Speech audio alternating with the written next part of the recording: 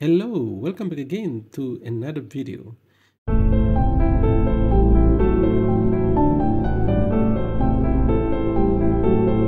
So in this video, we look at how to create a cinematic look on our videos. So let's see how we can do that. So here we have the uh, clip, which is the 1080p 16 by 9 aspect ratio. And um, uh, we can look at two ways that we can apply cinematic look to it. So the first one, uh, go to the effects panel here and then uh, make sure to be in so all video effects and then you go to transform distort and perspective and then under that you can see the letterbox. Here simply apply that too and you have this nice look here but the problem is this uh, head cut off. So uh, make sure to select your clip and then you go to the properties of the letterbox here and you see the border width. Um, you can adjust this by simply selecting and clicked to come down like this. Uh, any aspect ratio or any uh, border width like that uh, whatever you feel okay you can um, simply use that. So once we have that um, that's the first example. Okay the second example let's just delete this first. And uh, second example uh, again in transform distort and perspective you have the fill borders so simply select that and apply it to your clip now nothing happened yet because we did not set any borders here. So you can see left right top and bottom. So we want to use the top which is the one from here and the bottom which is from here. So let's uh, simply type a random number or a number like uh, let's say uh, 200 and then the other one here same number. So 200 200 and you can see it's creating this weird look. So to fix that make sure your color should be in black and um, mode. Click here and you can see it says fix. So once you click that it fixed this and creating uh, that's kind of the same cinematic look.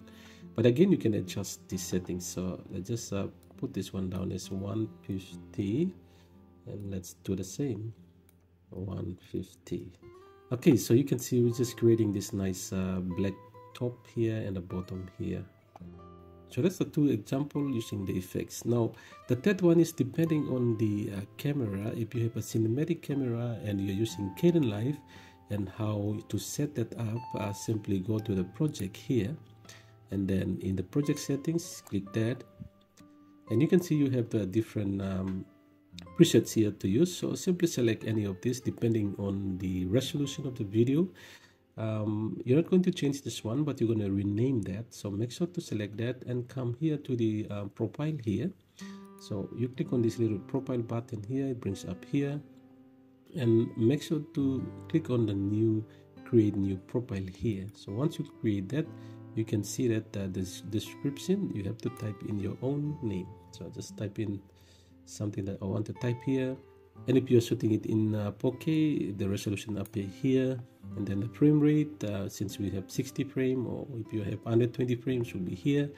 And then the uh, uh, pixel aspect ratio make sure it should be in one to one. And then the display aspect ratio depending on the aspect ratio of your um, camera that you're shooting your videos with. Uh, for example if it is 21 by 9 then you can change this to um, 21 by 9 and then uh, make sure to save your uh, profile or the um, preset and then once you have that if you want to use it as a default or just uh, simply close this. And you know the name that you save in? Mine is uh, c6 so um, if i want to change this to c6 um, selecting that and then click ok. And it's going to ask you to uh, apply that so simply click continue it's asking to save the project. So I just type in any name here. And i just save that.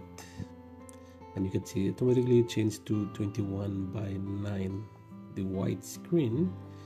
And uh, that's it. So that's how it's depending on your uh, cam that you're using uh, you can change the aspect ratio to meet that. Okay so that's how we can create a cinematic look of the videos. And um, yeah enjoy that. And um, thank you again for everyone who have subscribed to our channel. Thank you very much and um, see you back again in another video